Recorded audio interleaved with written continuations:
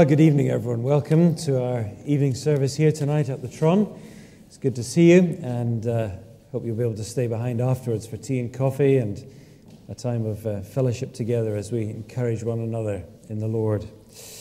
We're going to begin by singing number 177 in our blue books, which uh, the observant of you will notice is uh, a version, a modern version by Christopher Idle of one of the great prayers of the church, the the Te Deum, but uh, fortunately for us, we're singing it in English, not in Latin, and uh, to an easier tune. But 177, a great hymn. We, God, we praise you. God, we bless you. God, we name you sovereign Lord. Number 177.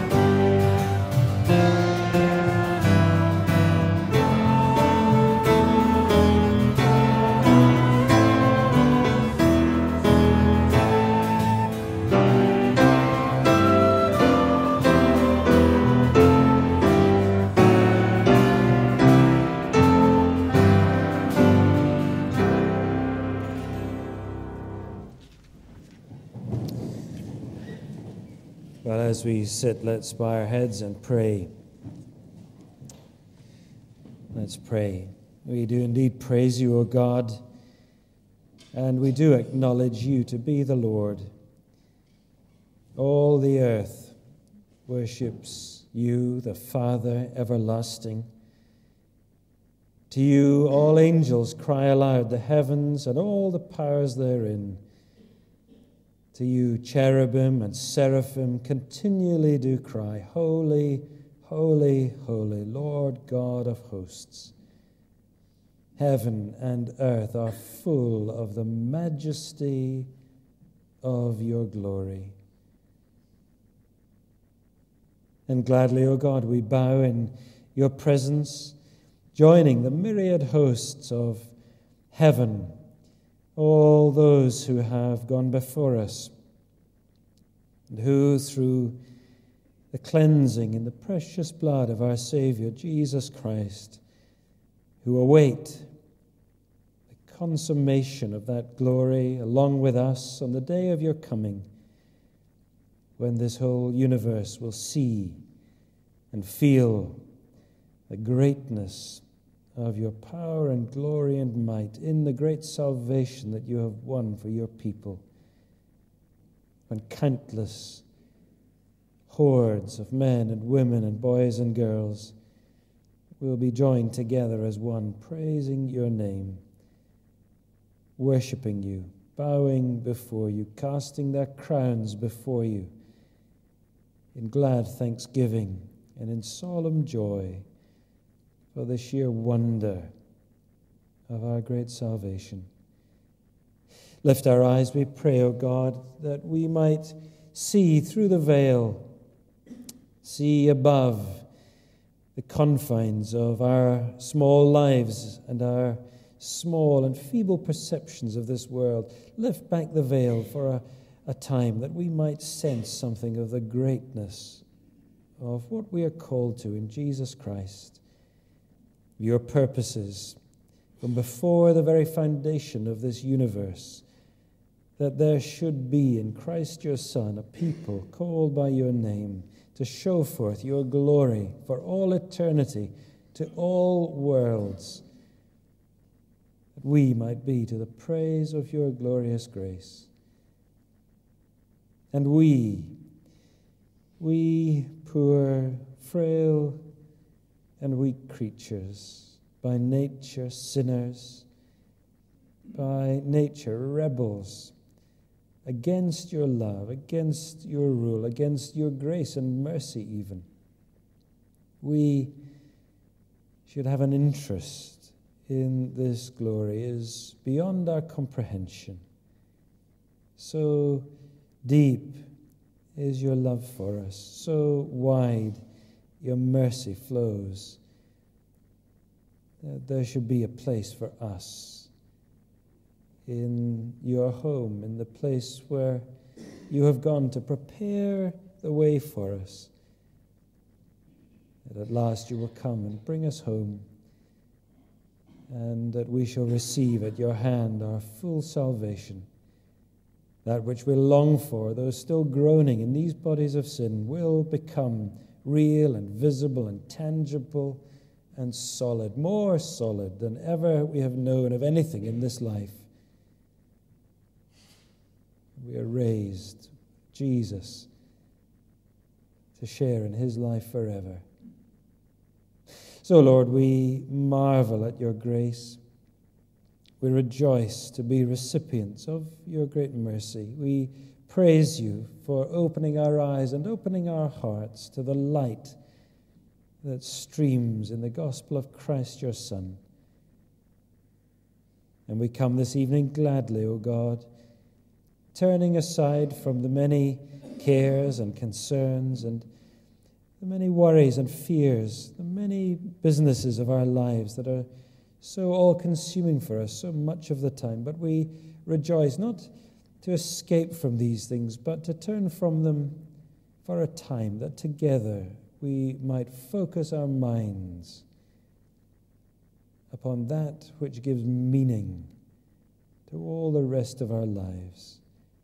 That which, when we understand it and can rejoice in it, lifts us out of the mundane normality of our daily lives and thrills our hearts with the sheer joy of what you have called us to. Lord, we come seeking your word, and we pray that as we open it tonight and as Edward preaches to us, you would open our hearts to it that we might thrill in what we learn of your goodness and your grace, your greatness and your power to usward who believe. Send us from this place tonight, we pray, Lord better equipped to love you and to serve you, and to love and serve one another, and to love and serve the people that we love in our city, in our workplaces, in our families, among our friends. We might share with them what you have shared with us, the grace that is in Jesus Christ.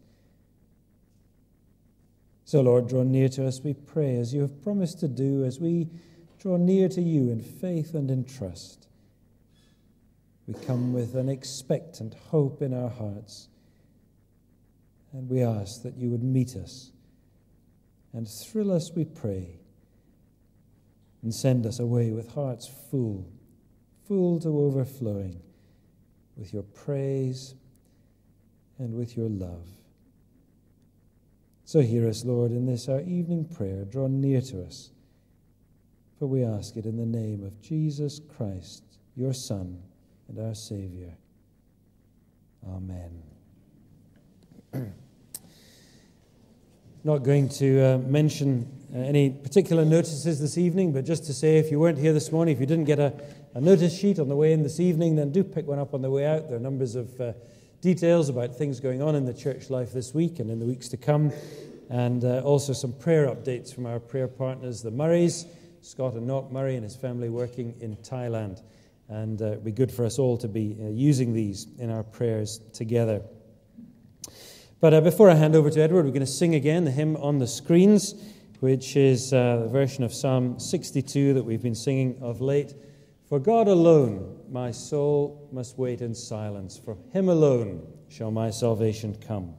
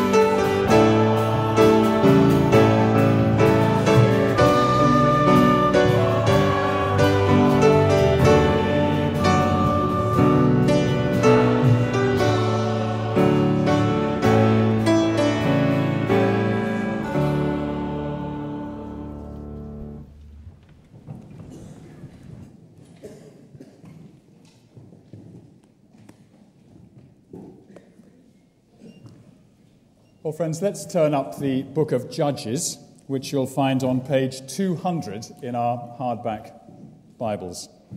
Page 200. I'm going to read the first chapter and the first five verses of chapter 2 this evening. And uh, I'll just say one or two things about this reading before I read it so that uh, it'll make a little bit more sense. The first thing to say about Judges is that uh, the judges that we're going to uh, discover and meet over the next few weeks are not judges in quite the way we understand judges. They were not primarily judicial officials, though they did give judgment for certain uh, cases and difficult, difficult things. But they were really military deliverers. They were saviors. They were rescuers who were sent by God to help the people of God when they were in deep trouble. Now, the second thing I'd like to mention, just look at the first two or three or four verses you'll see Simeon and Judah are mentioned. End of verse 3 Simeon went with him, Judah went up. Now, this was not Simeon and Judah, the sons of Israel, because they lived and died about 400 years before the period with which the book of Judges deals. So, what this means is the people of Simeon, or really the warriors, the soldiers of Simeon and Judah. And the other thing I wanted to point out was just to, to flag up, as we get towards the end of chapter 1, you'll hear that various tribes don't fully drive out the Canaanites that they should have been driving out. They began to live with them and accommodate themselves to them. So just watch out for that because that's a significant part uh, of what's going on here. So, Book of Judges, chapter 1, let us hear the word of the Lord. After the death of Joshua, the people of Israel inquired of the Lord who shall go up first for us against the Canaanites to fight against them? The Lord said, Judah shall go up. Behold, I have given the land into his hand. And Judah said to Simeon, his brother, Come up with me into the territory allotted to me, that we may fight against the Canaanites. And I likewise will go with you into the territory allotted to you. So Simeon went with him. Then Judah went up and the Lord gave the Canaanites and the Perizzites into their hand, and they defeated 10,000 of them at Bezek. They found Adoni Bezek at Bezek, that was the king of Bezek, and fought against him and defeated the Canaanites and the Perizzites. Adoni Bezek fled, but they pursued him and caught him and cut off his thumbs and his big toes. And Adoni Bezek said, Seventy kings with their thumbs and their big toes cut off used to pick up scraps under my table. As I have done, so God has repaid me. And they brought him to Jerusalem, and he died there. And the men of Judah fought against Jerusalem and captured it, and struck it with the edge of the sword, and set the city on fire. And afterward, the men of Judah went down to fight against the Canaanites who lived in the hill country, in the Negeb, and in the lowland. And Judah went against the Canaanites who lived in Hebron. Now, the name of Hebron was formerly Kiriath Arba and they defeated Sheshai and Ahiman and Talmai. From there, they went against the inhabitants of Debir. The name of Debir was formerly Kiriath Sepher. And Caleb said, He who attacks Kiriath Sepher and captures it, I will give him Achsah, my daughter, for a wife. And Othniel, the son of Kenaz, Caleb's younger brother, captured it, and he gave him Achsah, his daughter, for a wife. When she came to him, she urged him to ask her father for a field.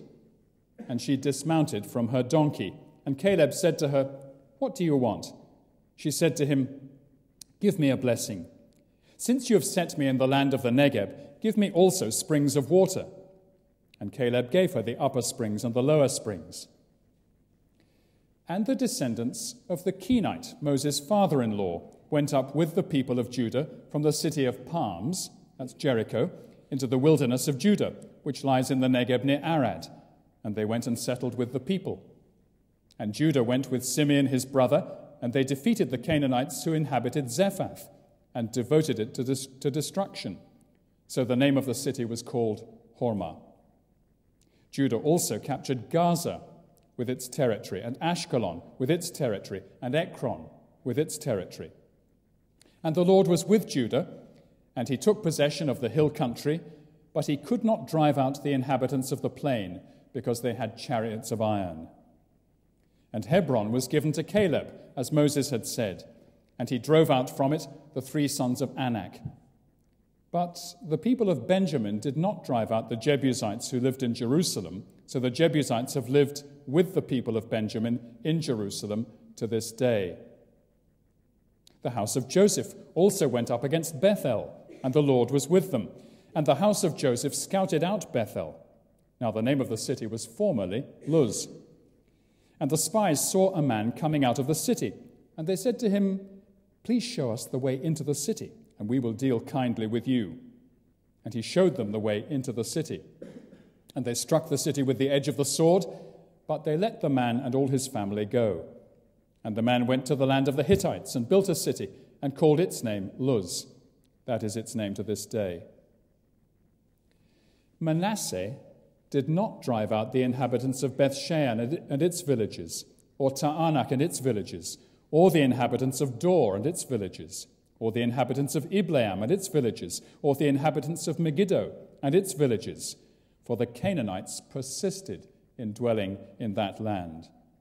When Israel grew strong, they put the Canaanites to forced labor, but did not drive them out completely. And Ephraim did not drive out the Canaanites who lived in Gezer, so the Canaanites lived in Gezer among them. Zebulun did not drive out the inhabitants of Kitron or the inhabitants of Nahalol, so the Canaanites lived among them, but became subject to forced labor. Asher did not drive out the inhabitants of Akko, or the inhabitants of Sidon, or of Achlab, or of Achzib, or of Helbah, or of Aphik, or of Rehob. So the Asherites lived among the Canaanites, the inhabitants of the land, for they did not drive them out. Naphtali did not drive out the inhabitants of Beth Shemesh or the inhabitants of Beth Anath. So they lived among the Canaanites, the inhabitants of the land. Nevertheless, the inhabitants of Beth Shemesh and of Beth Anath became subject to forced labor for them. The Amorites pressed the people of Dan back into the hill country, for they did not allow them to come down to the plain. The Amorites persisted in dwelling in Mount Heres, in Aijalon, and in Shaalbim but the hand of the house of Joseph rested heavily on them, and they became subject to forced labor. And the border of the Amorites ran from the ascent of Akrabbim, from Selah and upward. Now, the angel of the Lord went up from Gilgal to Bochim. And he said, and he's speaking here to the whole people of Israel, he said, I brought you up from Egypt and brought you into the land that I swore to give to your fathers. I said, I will never break my covenant with you, and you shall make no covenant with the inhabitants of this land. You shall break down their altars.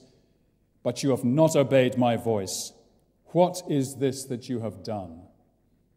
So now I say, I will not drive them out before you, but they shall become thorns in your sides, and their gods shall be a snare to you. As soon as the angel of the Lord spoke these words to all the people of Israel, the people lifted up their voice and wept. And they called the name of that place Bochim, weepers. And they sacrificed there to the Lord. Amen. The word of the Lord. Now we're going to sing together again. Let's turn in our blue hymn books to number 424. 424. Here is love vast as the ocean. A lovely little hymn which describes something of the gospel. Number 424.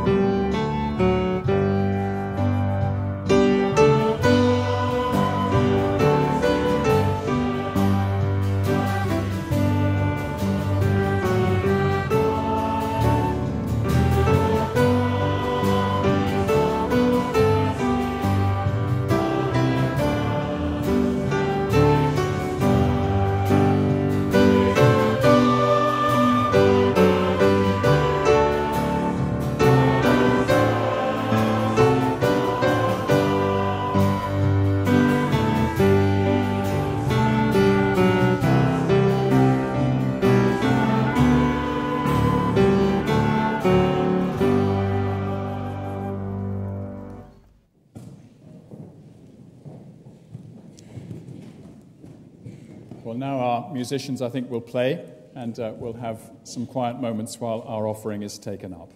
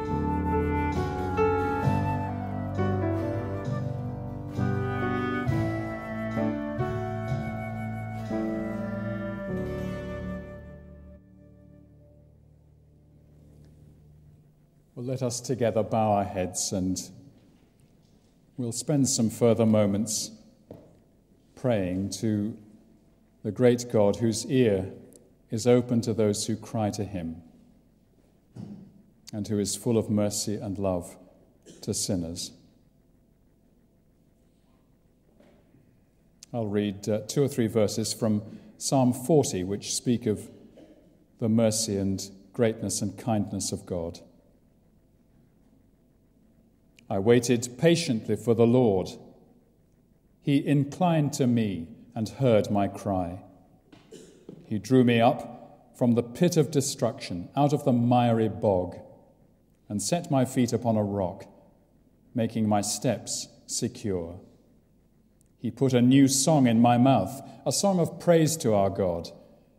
Many will see and fear and put their trust in the Lord. Dear God, our Father, we thank you so much for these great words of King David, and we thank you that his experience of being rescued is something which is recorded for our benefit. Thank you that he, as, as he waited for you, you were willing to incline your ear to him and listen. And thank you so much, dear Father, for drawing him up from the pit of destruction and the miry bog, setting his feet upon a rock and making his steps secure. We're conscious, dear Father, that you have done this for so many of us.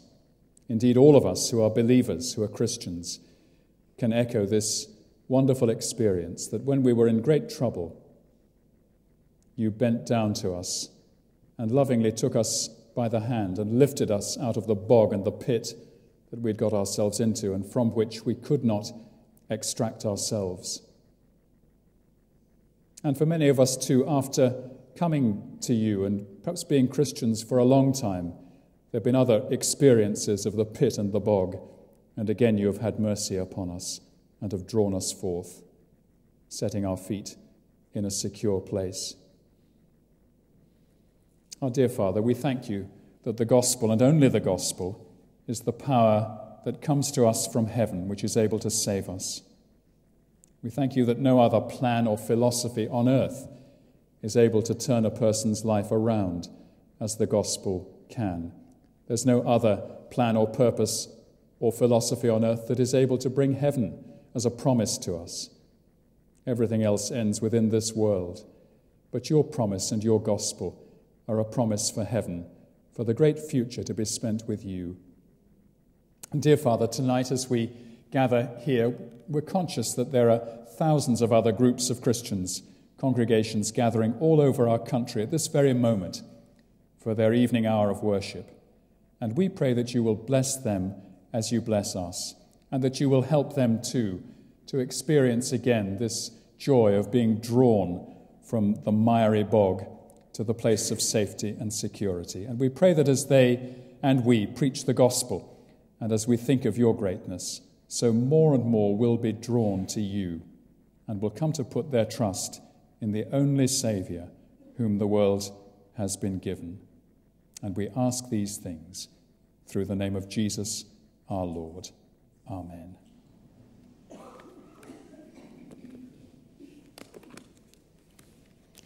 Well, let's turn now in our hymn books to number 558. 558. O God, who shaped the starry skies and made the sun in splendor rise, whose love our life imparts, still may that same creative word, which formless void and darkness heard, be known within our hearts. A, pray, a prayer that the word of the Lord will bring great blessing to us. Number 558.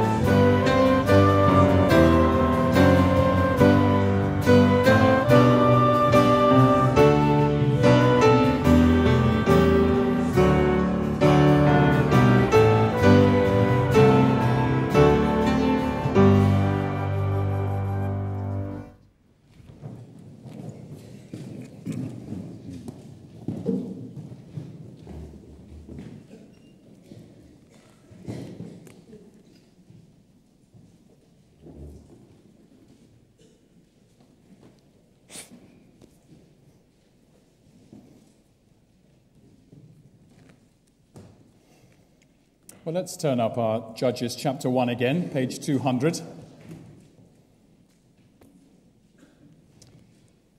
And let me, friends, encourage you to strap on your emotional armor because we're about to engage with this book of Judges. And this book of Judges, although it's a colorful book with great stories in it and larger than life characters like Gideon and Jephthah and Samson, is also a gruesome book and I say gruesome because it tells the story of a period in Israel's history when the life of God's people had reached a very low ebb. The nation was in rags and tatters, both morally and spiritually. It lacked leadership, it lacked cohesion, it had lost sight of its purpose as a nation under God. And the very opening and closing of the book suggest this. Just have a look with me at the very first words of, of, of verse 1 after the death of Joshua. Joshua, the great leader, has died. That's almost the title of the book.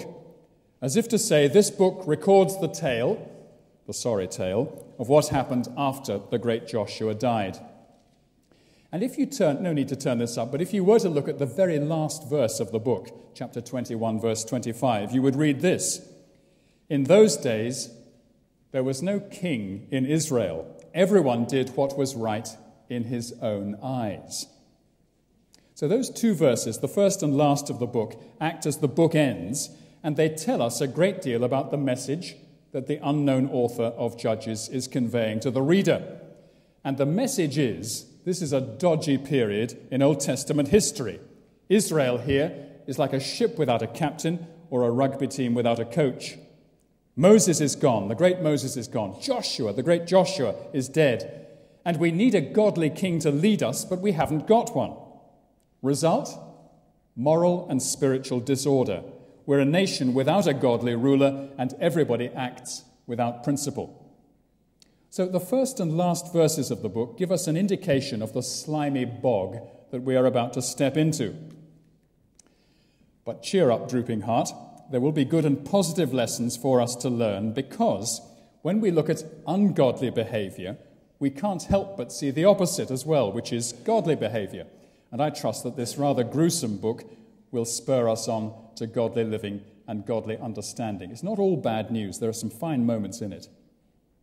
Now, I want to show up on the screen a historical table which will help us to see um, where the, the era of the book of Judges fits into the, uh, to the history of Old Testament Israel. Somebody once said, foolishly, history is bunk. But I often say to our Cornhill students that if they don't get a fairly detailed grasp in their heads of the main lines of Old Testament history, I shall have them hung, drawn, and quartered.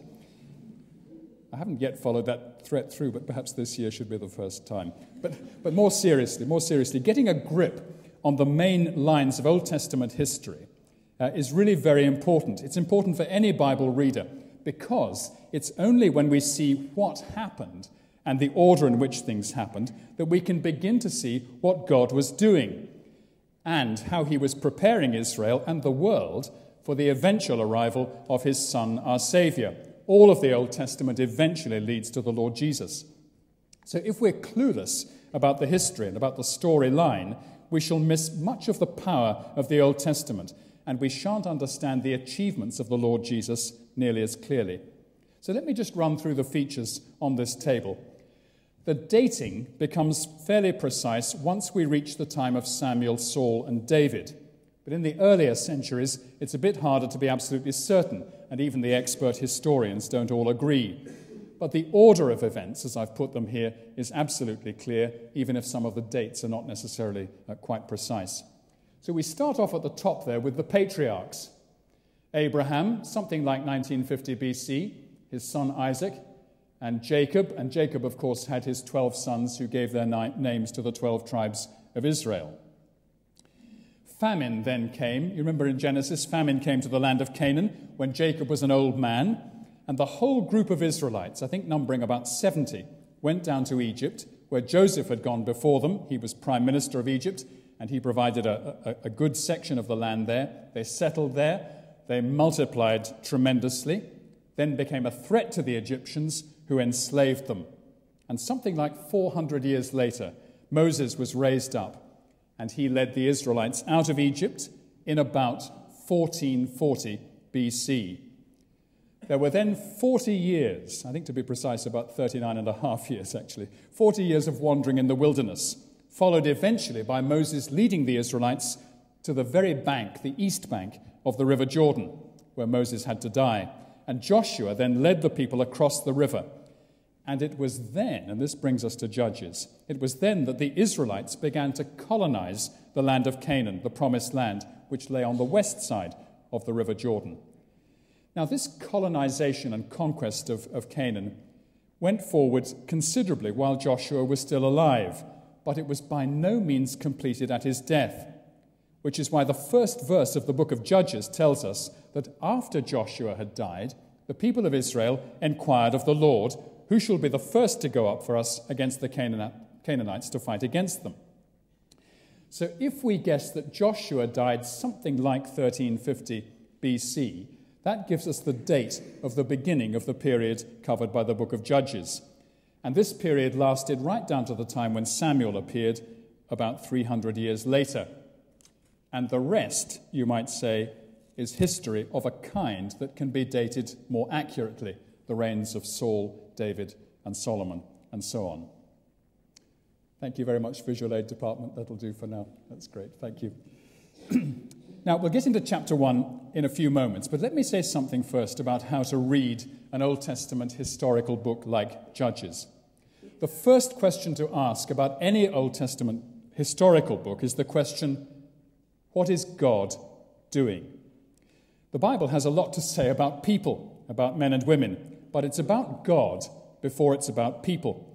Every book of the Bible describes how God is working out his great purposes. Even a book like Esther, which doesn't even mention the name of God once, is all about God working out his good and kind purposes for his people, the Jews. Now, that's the first question. What is God doing? Here's a second question that focuses the issues up a little bit more. What is God doing in relation to the covenant that he made with the people of Israel? Now, as you know, the Old Testament has a lot to say about the Gentile nations, but first and foremost, it's about the Jews, with whom the true and only God had entered into a special relationship. And the essence of the covenant, just ask yourself, do I know what the Old Testament covenant sounds like? What was it? The essence of the covenant can be summed up in a, very, a few very short sentences. So, beginning with Abraham, God's message to Israel was this here's the covenant I'm choosing you out of all the world's nations. I'm choosing you to be mine. I've set my love upon you, the Israelites. I'm giving you a special tract of land to live in, the promised land. I'm going to multiply your numbers greatly, like the stars of the sky. And I'm going to make you a blessing to the Gentile nations in due course. I will be your God, you will be my people, and I will dwell among you. That's the covenant a promise of land, people, blessing to the Gentiles, and mutual possession. I will be yours, and you will be mine. It's just like a marriage covenant in that sense, isn't it? Will you be mine? Yes. Will I be yours? Yes. That's what marriage is all about, isn't it? So it's a wonderful covenant, this marital covenant. But if Israel was to enjoy the blessings and the benefits of the covenant, namely peace security, and prosperity, they had to obey what God told them to do. One of the subtexts of the Old Testament is that obedience brings blessing and disobedience leads to disaster. That, of course, is still true for disciples of Christ.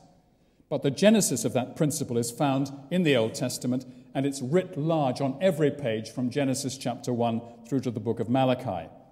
Obey God, love God, serve God, and you'll have so much blessing that you won't be able to contain it. But if you disobey him by treating his commandments with contempt and by running after other gods, he will hand you over to the dire consequences of your folly, and your life will become a disaster zone. Now, it's with these thoughts that we can begin to turn to the book of Judges and see what is going on. God's people, the Israelites, are bound to God by this gracious covenant and at this stage in their history, they are partly, but by no means fully, settled in the promised land. And we need to know what has happened in the previous few decades if we're to understand the rather delicate state of play which the, book, the beginning of the book of Judges records. And it's the immediately preceding book, the book of Joshua, that tells us what has been going on. Joshua has been terrific. He's been a great, strong, godly leader. As I'm sure you know, he was Moses' personal assistant, so he knew God's commands, the law of Moses, very well, and he'd learned from Moses' example the almost impossibly difficult art of leading the people of Israel, who so often veered off into disobedience and idolatry and had to be pulled back by the scruff of their necks. And Joshua, strengthened by the Lord, had done so well as Israel's leader. After Moses had died, his first job was to get the people of Israel safely across the river Jordan into Canaan. They didn't have to swim. In fact, their river crossing was really a kind of repeat of the Exodus crossing of the Red Sea. Do you remember how the walls of water at the Red Sea had parted? Well, so it was with the Jordan. The water piled up some miles upstream and allowed the people to cross the riverbed dry foot. The Lord was with them. They then took the city of Jericho, whose walls fell down flat to allow them in. The Lord was with them. Then they conquered Ai, and they began to penetrate further and further into Canaan, and many other towns and cities fell to them, and they took them over, and they established themselves. But years later, and Joshua chapter 13 records this, Joshua was now old. And the Lord said to him, You're old and advanced in years, and there remains yet very much land to possess the land of the Philistines, the Geshurites, the Avim, the Sidonians, the Gebalites, and a few others. So, this job of conquest and colonization was barely half done when Joshua was reaching the slippers and Zimmer frame stage of life. And much of the second half of the book of Joshua is a kind of geography lesson. The land is parceled out to the tribes of Israel on paper, on paper. So each tribe is given its own parcel. The boundaries are drawn up and identified. This river will be your southern boundary, and this ridge of hills will be your western boundary, and the Dead Sea will be your other boundary, and that sort of thing. A lot of geography, very detailed. In fact, reading through the second half of the book of Joshua is, to be truthful, rather hard work. And anyone who can do it and remember all its details deserves a PhD in geography. But it's important because it is the working out at ground level of the promise given to Abraham centuries earlier that a beautiful stretch of country will belong to the people of Israel. So when we reach the beginning of Judges, we're in the middle of this ongoing process of colonization. And we find the people of Israel in the very first verse doing exactly what they should be doing inquiring of the Lord, perhaps using a system of drawing sacred lots. And they ask the Lord, Who shall be the first to go up against the Canaanites to fight against them? And the Lord says, Judah shall go up. Behold, I've given the land into his hand.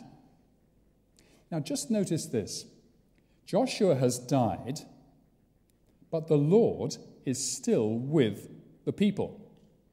I've flagged up the fact that things are going to go badly wrong, but they haven't started to go badly wrong quite yet. As the book of Judges begins, this plan of colonization and conquest is going forward. You see from verse 3 that the warriors of Simeon join the warriors of Judah so as to multiply their strength. And verse 4 tells us that the men of Judah and Simeon defeated a force of 10,000 Canaanites at Bezek, and they caught the king of Bezek.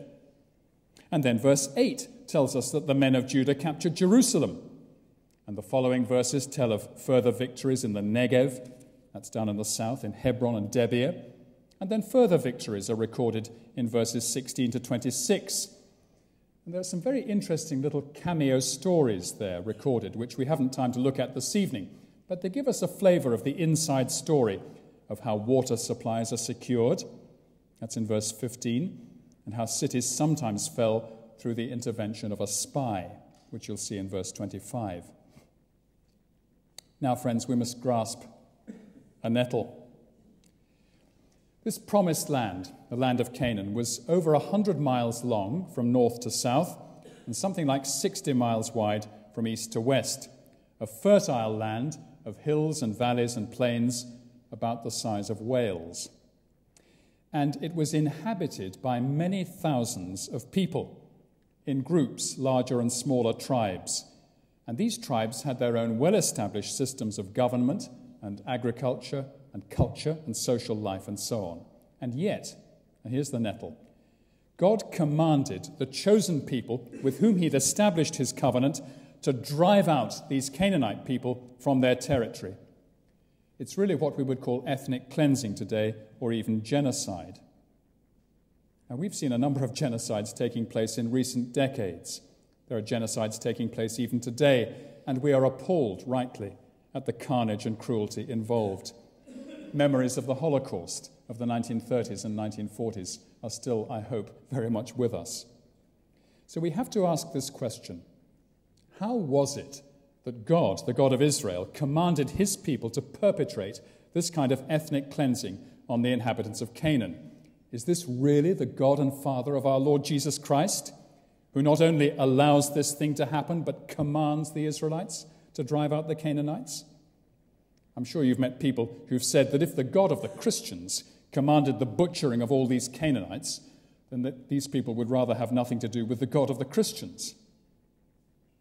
Well, the answer to this problem is that we have to learn to view the conquest of Canaan from the Bible's own viewpoint, which is the Lord's viewpoint.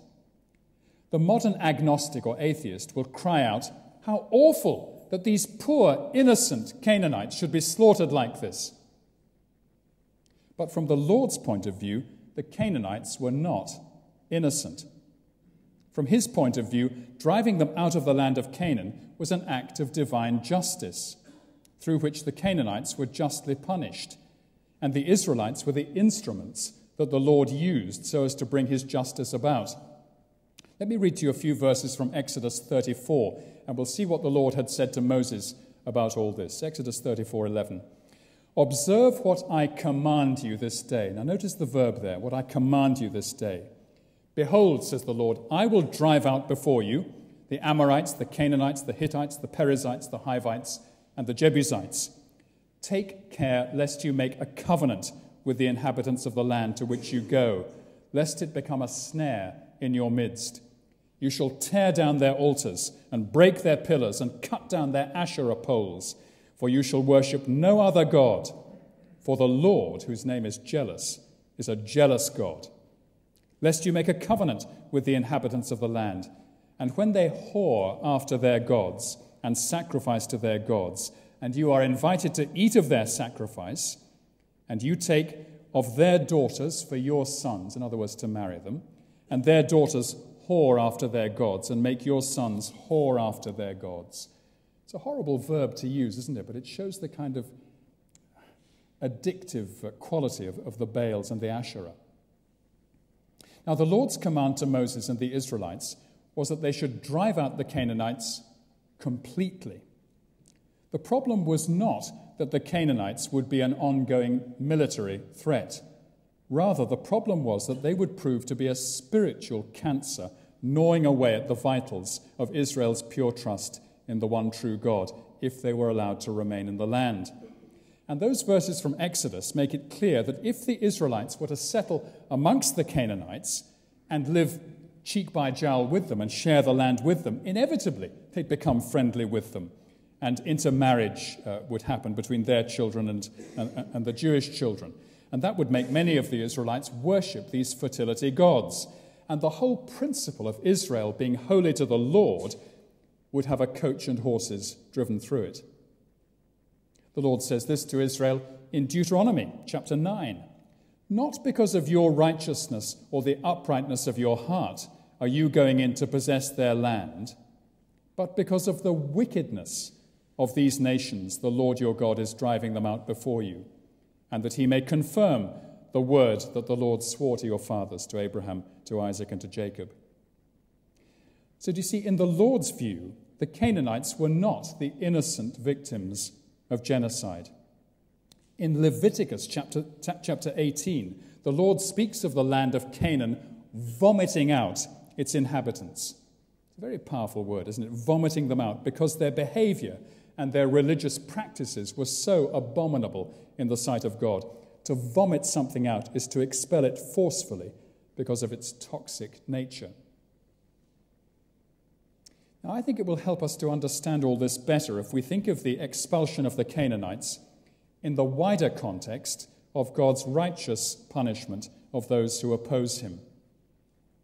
At the end of everything, at the day of judgment, God will send away to eternal punishment everyone who has stood against him, everyone who has refused to bow to Jesus as their king. And the sad fact is that great numbers of people will be sent away to eternal ruin.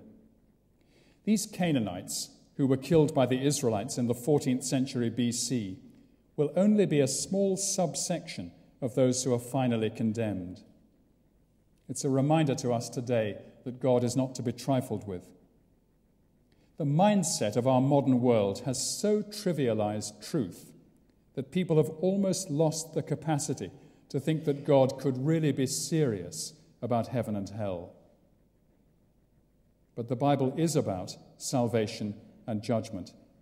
And the command to expel the Canaanite tribes is all of a piece with the words of Jesus when he will say in the end, Depart from me, you evildoers, for I never knew you.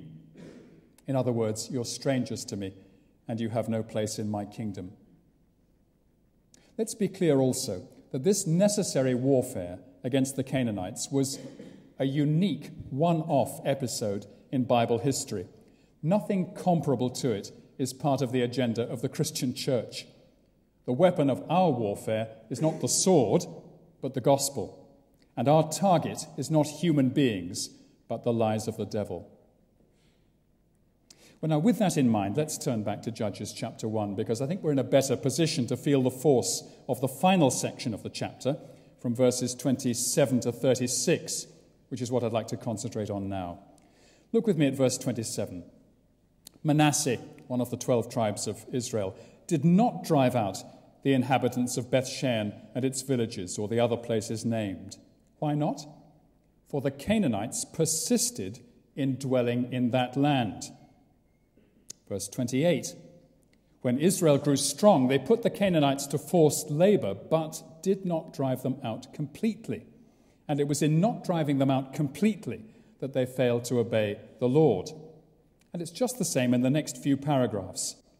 Verse 29 And Ephraim did not drive out the Canaanites who lived in Gezer, so the Canaanites lived in Gezer among them, continuing, of course, to worship the Baals and the Asherah. We'll think about them next week and what they were. And then Zebulun, verse 30, did not drive the Canaanites out of their allotted portion of the land. And it's the same with the tribes of Asher in verse 31 and uh, Naphtali and Dan. Now, it's impossible to miss the tone of these final paragraphs of chapter 1. These paragraphs are not the calm, objective analysis of a sociologist. This is the voice of God's preacher, the author of the book of Judges and he is lamenting the failure of his fellow Israelites. He's saying to his readers, Alas, that our forefathers failed to obey the command of God. They lacked the vigor, they lacked the determination to drive out the Canaanites completely, even though the Lord had warned them of the dangers of allowing the Canaanites to remain there in the land. So, what happens next? Does the Lord turn a blind eye to this compromising, disobedient behavior? Thankfully, he does not. He does what he must always do under these circumstances. He confronts his people with their sin and calls them to account. And he does this by sending his angel to them in chapter 2, verse 1. An angel, the representative of God, comes hot foot from the Lord's presence, and he delivers to the Israelites a message that is full of grief and anger. Just look at verse 1. I brought you up from Egypt. I released you from your dreadful slavery there because I loved you. And more than that, I brought you into the land that I'd sworn in my covenant to give to your fathers. I've been faithful to my promise. I brought you to the beautiful promised land. I said, and here the Lord is reminding them of something he'd said repeatedly in the book of Deuteronomy. I said, I will never break my covenant with you, and you in return shall make no covenant with the inhabitants of this land. You shall break down their altars. But, and here's the Lord's grief and anger but you have not obeyed my voice. What is this that you have done? Now, where have you first heard that question? Genesis chapter 3. It's exactly the same question, word for word, which the Lord put to Eve in the Garden of Eden when he called her to account for eating the forbidden fruit. What is this that you have done? Now look at verse 3 in chapter 2, because it's at verse 3 that the angel delivers the Lord's decision about what he's going to do in response to their disobedience. You'll see the message comes in the first person singular. It's not the angel who's speaking, it's the Lord himself. So, verse 3 Now I say, I will not drive the Canaanites out before you, but they shall become thorns in your sides, and their gods shall be a snare to you. In other words, you will reap as you have sown. Your sin will have painful consequences, and you will have to live with those consequences. The Canaanites will give you endless trouble. They will lead you astray, and you will start worshipping their worthless idols, and your lives will be riddled with unnecessary disasters, all because you refused to obey me thoroughly.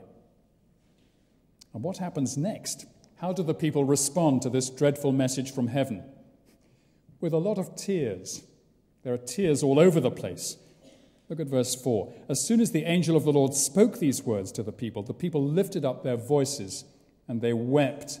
In fact, they wept so much that they called the name of the place Bochim, which means weepers. I guess place names generally mean something, don't they? Why is Glasgow called Glasgow? Does it mean beautiful green place? Pretty concreted over now. There, I think we still have 63 parks, don't we, in Glasgow? It's pretty green. Anyway, it says something about the city's past, doesn't it? But this place here was called Weepers. It was called tears and lamentation and heartbreak. But were they the tears of real repentance? Did the people experience a revival of real faith as a result of the angel's visit? It seems not. Look on to chapter 2, verse 11. And the people of Israel did what was evil in the sight of the Lord and served the Baals and they abandoned the Lord, the God of their fathers, who brought them out of the land of Egypt. They went after other gods from among the gods of the peoples who were around them, and they bowed down to them and provoked the Lord to anger. Well, friends, I said at the beginning that we would need to strap on our emotional armor because we're likely to have a rough ride here. But it's not all gloom. It's not all gloom. I promise you it's not going to be all gloom. So let me draw to a close this evening by making two observations on this first chapter of Judges, which I hope will be of real help to us. First, in the Old Testament, God's people go through bad times and good times. The book of Judges records a bad period, though even in the book of Judges, there are some fine moments of faith and courage, which I trust we'll see in the coming weeks. But taking Old Testament history as a whole, there are good times and there are bad times. The preceding book, the book of Joshua, is by and large a good time. Now, there are some bad moments in it, but the graph of the faith and obedience of God's people is a rising graph through the book of Joshua. Whereas in the book of Judges, the graph sinks rather horribly. There are some good moments. The graph is a little bit like this as it goes down, but it's sinking. But despite this time of general disobedience and corruption, the Lord does not cast his people off. He refuses to consign them to the dustbin of history because he has promised, he's covenanted himself to be their God and to bring his purposes for them to completion, as he does finally and fully in the coming of Jesus some 1300 years later. Now, in the same way, in our own time, this era between the first and the second comings of Jesus. There have been great times in the history of the Lord's church, and there have been terrible times. And some of the greatest revivals of real Bible faith have followed hard on the heels of times of failure and disappointment. So let's not be too perturbed when we see times of decline in the fortune of God's people, perhaps even in our own lifetime. We can be sure of this that God will work out his purposes and he will bring his people to our final resting place in the end. No times of failure on the part of God's people can thwart him or deflect him from doing what he intends to do. Now, secondly, let's allow this first section of Judges to thrust into our hearts once again this great lesson that disobedience to the Lord brings disaster, whereas obedience to the Lord brings blessing, great blessing. Now, this is true always on the level of individual experience. If a Christian person establishes patterns of disobedience in his life, there will inevitably be trouble and heartache, and only radical repentance will restore that individual. But here in Judges 1 and 2 is not so much an individual thing, it's a corporate thing. The people of Israel as a body fail to obey the Lord thoroughly. They start off in the right direction, as we've seen, but they fail to follow obedience to the Lord through. They don't press it home. And we have to ask how could this possibly have happened to them? After all, they'd seen so much of the power of God. Think of the Exodus, the parting of the Red Sea. That was a pretty recent national memory. The crossing of the River Jordan was even more recent, along with the miraculous conquest of Jericho. How could they have witnessed all this and then, just a generation later, started to abandon the Lord? Well, let's take this as a shot across our own bows. There's a lesson here about how quickly disobedience can set in to the people of God as a corporate body. True faith and corporate obedience can be corrupted in less than a generation. So, how can we, as a, as a congregation, as a body of Christ's people, avoid falling into this kind of trap? Let me suggest two ways. First, by lovingly taking responsibility for one another and steering one another away from idols. So when we see a fellow Christian beginning to wrap his soul around some idol, let's take him or her tenderly but firmly by the scruff of the neck and let's pull him or her back. So we're going to say something like this Brother or sister, don't start worshipping at that worthless shrine. It's the road to death if you wrap your soul around money or your career, or for a young man, it could be pornography.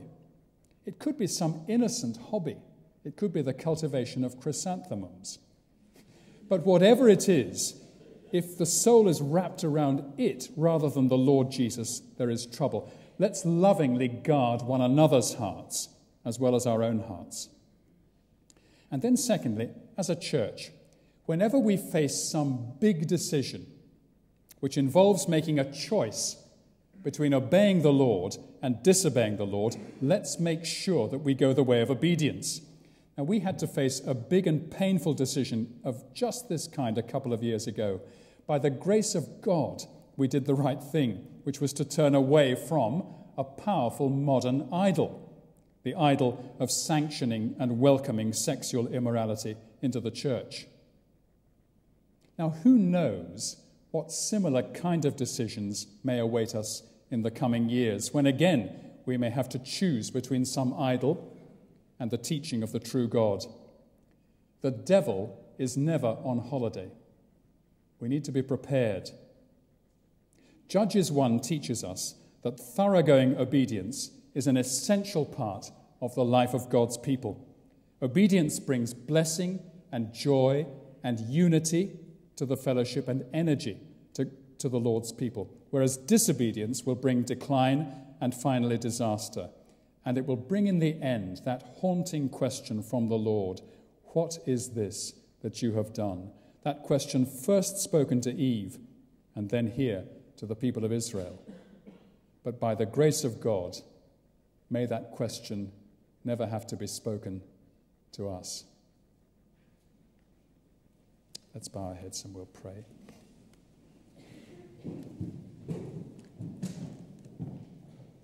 Dear God, our Father, it gives our own hearts pain to think of the way that your people who had been so blessed by you were able to turn away so quickly and to worship false idols. We're conscious of the danger that the Christian churches stand in all the time, but we thank you so much dear Heavenly Father, that you've promised to be with us. Indeed, for those who are truly yours, you live within our very hearts in the power and person of the Holy Spirit. And we pray, therefore, that you will so be at work in us, both individually and as a body of Christians, that we may delight to serve you, that we may lovingly look after each other and keep each other from idolatry, so that we may serve you with unity, with energy, and with great joy. And we ask it in Jesus' name. Amen.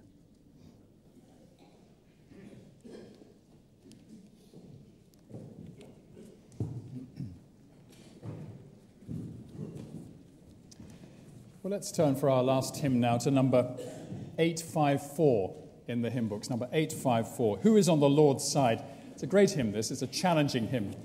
It asks the question as to whose side we are really on, and I trust we can sing this with, with joy. Number 854.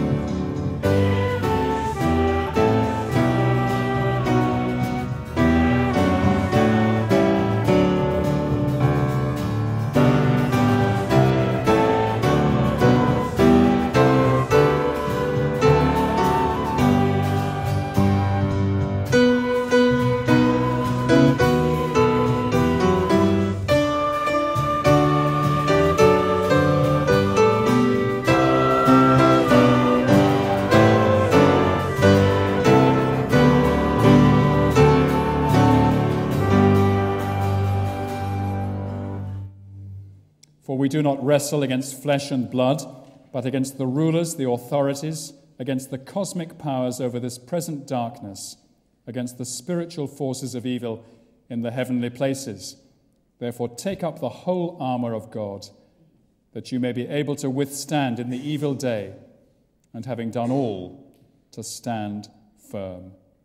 And we pray, our gracious, strong, wonderful Lord Jesus, that you will so be with us that we can stand firm against all assaults of the evil one and prove by your grace to be yours at the end. And we ask it for your name's sake. Amen.